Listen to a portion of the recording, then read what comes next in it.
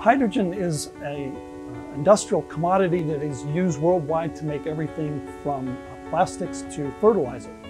But it's also a really intriguing fuel. It's beginning to be used in passenger vehicles, but this is a very challenging problem. We're trying to develop a new infrastructure. You're looking at a whole new technology that eventually will replace a century old technology that is very well developed.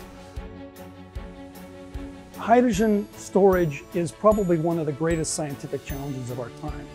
Uh, these materials are extremely complex. It's really beyond the capabilities of any one institution. The only way you're going to attack this complex problem is by bringing in the, the best scientists that you can to work on it. A few years ago, the Department of Energy recognized this problem, and they realized that even though a lot of effort had been invested to try to discover effective materials, we really didn't understand how they work.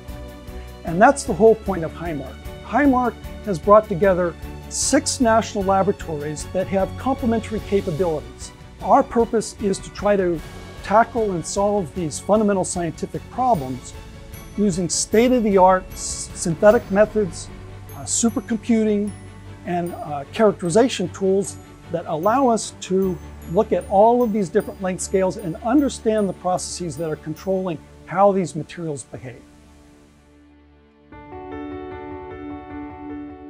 Historically, really, um, there are two kinds of materials that store hydrogen very well. There are sorbents and there are metal hydrides.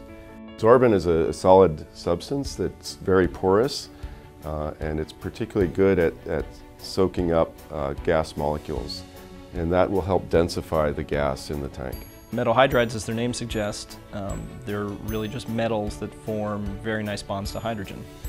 And kind of the magic of them and the reason why they're interesting is because they store hydrogen very densely. Um, I often talk about these as kind of like a sponge for hydrogen. And so our goal is to make a, a, a solid material that would uh, go inside of this tank and allow us to drop the pressure from 700 bar to say 100 bar max pressure.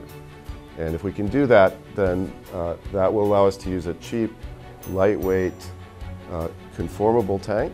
So you can use all the small bits of the car to store hydrogen. Um, and it'll cut down on all that energy for compressing the hydrogen to very high pressures. synthesizing nanoscale materials that have exactly the same properties over and over again is a big problem, very difficult. That's one of the things that HyMARC is working on, is to make metal hydrides in environments that are consistent over and over again. A lot of the strategies we're looking at are things like nano confinement. How do we take a hydrogen storage material, put it in a confining matrix, have smaller particles that then have much faster and better performance. So we're doing a lot of guidance on the computational side and trying to understand how do materials behave when we make them small and we confine them in a matrix. We're also looking at trying to understand materials that perhaps initially work well but then stop working later on or have, have very slow performance later on in their cycling. Can we understand something about the period of time when the materials are actually working well and can we engineer then the materials so that that behavior is, is maintained throughout the entire cycling? HyMARC utilizes a wide range of cutting-edge characterization tools that are unprecedented, I would say, in the history of hydrogen storage research. For example, we have techniques that consist of um, infrared spectroscopy, a so-called DRIFTS technique, that allows us to look at materials that are not normally uh, penetratable with infrared light. We also have techniques uh, such as solid-state NMR at Pacific Northwest National Lab that allows us to look at individual chemistry inside hydrogen storage materials as they change. And then we come to places like this. We're here at the Advanced Light Source to learn with X-rays about the interior workings of hydrogen storage materials as they're functioning. And so all of this suite of techniques allow us to really dig into the details about how uh, hydrogen storage materials are functioning and then help us understand, you know, what are the bottlenecks in those processes that either slow the introduction of hydrogen or its removal? It's not just storage in the vehicle. Uh, the Department of Energy has a program called H2 at Scale, which is looking at the entire problem from production to storage to utilization. The Hydrogen at Scale initiative is looking for hydrogen carriers to be able to do things beyond fuel cell vehicles. Looking at things to be able to uh, for power generation, storing hydrogen so you can do power generation later, or uh, making ammonia, so ammonia, so upgrading biofuels and um, biomass type materials. So it's a much larger part of uh, the uh, DOE emission. We are trying to focus our efforts in HyMARC on the things that are going to make the most difference. And we feel an imperative to do that.